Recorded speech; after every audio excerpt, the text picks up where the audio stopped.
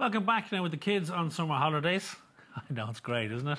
Great. Lots of parents are wondering how to keep our little ones occupied. Yes, we're looking at some arts and crafts this morning that might help on those rainy days a little. Vanessa Scott Hayward joins us. Vanessa, you have lots of props and ideas I here that my children would yes. love. I'm sure yours would too. There would be some mess. Where, Yeah. where do we start? Well, we're going to start with some mono printing this morning, and you are going to do this project, and Okay. I'm going to teach you how to do it. Okay. Well. Um, mono printing a really simple project, and it only needs a couple of materials, and they're mostly things you might have in your house anyway. So we have So what's mono printing? mono printing. It's a form of printing, so it's like printmaking, Okay. but it's mono, which is once. So you just do it. You paint out your paint, and then it only makes one piece of art. So it's a once off, and that's why it's called mono printing. Very good. Okay. Okay. So you need the cotton bud. You Okay. need No uh, pressure. plastic, a plastic surface. Once it's a flat plastic surface, I've given you a vegetable tray Oh, here. I'm doing special. well. Yes. got and some Because I just make a acrylic paint. So the Right. thicker the paint, the better, because if it's too thin, it won't work as well. And you only want a small little bit of paint. So if you're doing with young kids, put the paint out for them. Otherwise, Otherwise, Yeah, they would it'll be squirt the whole thing. yeah, exactly, exactly. So control less is definitely This is more with handy this though, project. isn't it? Just a little perspex. Yeah, and sheet. this is actually from like a cheap frame, picture frame I picked up in a shop, and you just I just cut it to size and So it works. it's about what are we gonna do? You're gonna get your paintbrush and you're gonna paint it out. So just paint out all over the surface there. Just spread out the paint. Spread out the paint. We're not finished yet, no? Do you have to cover the entire area? Yes, that would be good. See? Okay. Excellent work. I don't know if I've enough paint. Do I? No, you're fine. Oh, Honestly, with this, you don't, you don't Yeah. want too much paint because if you have too much, then your design it's gonna um, Yes, exactly. I was just going to say that. Yeah. Come on, Anna. You're not finished So, now? that's Okay. perfect. I'm so trying to you make it too pop your perfect, aren't brushes into the water. And then you're going to get your cotton bud. And this is where you draw your design. So if you think your cotton bud is just like a pencil, um, stick with shapes. Letters, you have to do mirror writing. So So that's more especially, com- so yeah, shape. it's more complex. It shows shapes. So pick any shape Oh, you want. so many like I did, I did like summer sunshine That's clever. Some hearts, like nice and simple, and you want to make sure that you do gaps between your um, between Oh, your shapes yeah, as well. yeah, yeah. Otherwise, it all blends It all together. blends, okay, I'll yeah. So not any then. small detail. You want to do the hearts, are you? I'll do the hearts. You You're do not going to do something original now? No. Hearts are original. Go on, you do something original Oh, now. Let's see Don't what you create. this is hard. Well, you did get the tray, which is slightly harder because it's not a flat surface. Well, thank you for that, Vanessa. Oh, yes. please. and then just make sure so here, like you're just going over. So the line is really clear. yeah, really it? clear line. So can I see your assignment? You can, look. Oh, that's very good. Oh, well thank done. you. Well done. Very A good. Thank you. Top of the class. So original. and do you want to add some more to the other See? side? So at go over the It's a tree. Yeah. The clearer, the better. Okay. Are you just going So to stick I'm with going. your Oh, hearts? I'm going just over the lines as you said, Vanessa, to make it really clear. Yeah, absolutely. Did you go over yours? I didn't need to because I did it right the first time, Oh, of course you did. Okay. according to our uh, expert. Okay. Expert. Okay. No, that looks really That's- good. Yeah, perfect. And you can see here that it's because you can kind of almost see through the surface, you know that's enough paint. If you couldn't see behind, You need to go then you'd know that you got a little bit too much paint on and just to leave it to dry for a little bit. Okay. Um, but also on the other side, don't take too long on your design because the paint will end up drying out. Okay. So the next step is you're going to get your piece of paper. So Yes. if you're doing it with the tray, just make sure the paper is cut to size, and you're going to put it down. Now, for this step, you put it down nice and gently because you don't want it to smudge the design, and then you just tap it down like that. Okay. So you don't press. You don't press because if you press, you're likely to kind of push it across. So just start tapping it down, Nice and and gentle then now, nice Simon. and gently. Yes, mother.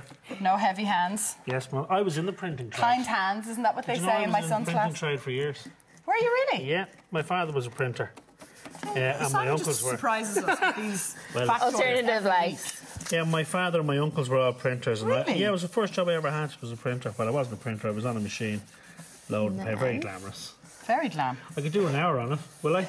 No. Okay, we'll move on. No, we don't want to lose every Nah. viewer we have this morning, Simon. So then if I can just have a look at yours here. I've- So then I've you start Fumbling a to... Yes, but that's part of the effect, isn't it, Vanessa? Yeah, we're going to have a You see? textured effect. A textured effect, thank you. Um, this is mono printing level two. You're still on 101 here. Okay? I'm on 1A. Yeah. Right. Now, So then it's time for the grand reveal, and this is where you hope it works out. Okay. Oh, no. So I'll let you guys do No- no it. pressure. So just get the corner of your page and pull it up gently. It's like a Van Gogh. Woo! Well done. What's that supposed to be? to reveal your Oh, designs. isn't that Ah, nice? So we Now, can which one's show better? viewers at home? Hold on. Which one's better? Okay, there's mine.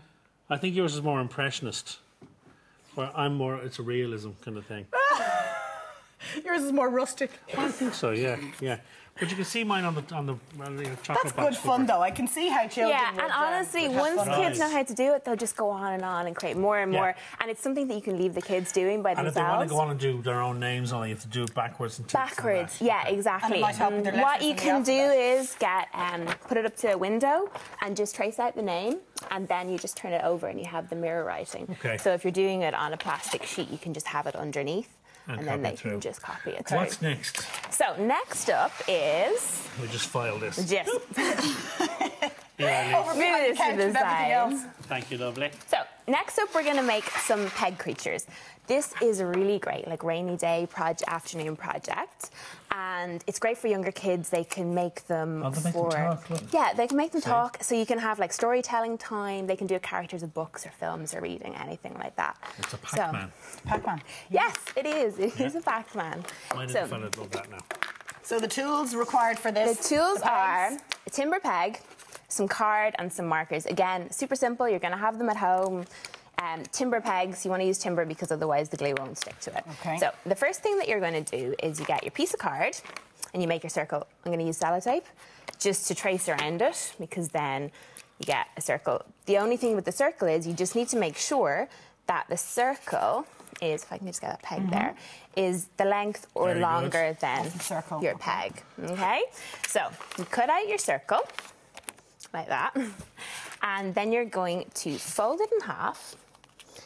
And then you have, so at that halfway line is where you're going to have the mouth open up and you can draw. So I'm just going to do really, really You simple can get as here. creative as you like with Oh, totally. Yeah, you can. be Um, they could make it something, a character. They can make a character from their own imagination. They could like think of a whole story behind it. If you got Very a good. play date, Yeah. doing kids parties during the summer, Yeah, this we're would be killed for brilliant. time, Vanessa. Yeah, of course. So we gotta make our Pac-Mans quickly here, honey boy. so cut it in half. So here's one I've done earlier. Brilliant. Then you have little strips of card that you stick down to your peg. So just fold it over, stuck down. And here they are here. Attaches Done. to the Backorama. Touches there. Then you just get some glue, Oh my. Oh, this is where it gets messy. Yeah. put a bit of glue down here. And then you're going to making sure that you're sticking Mouth the to mouth mouth, yeah. on the Teeth right going way. the right direction. Exactly. My lads would love that. They And would actually. then- They would. And the supplies that you need are fairly Opens up. basic. Really basic. Again, I've kept it really simple. Where's the best place to pick up all these bits and bobs?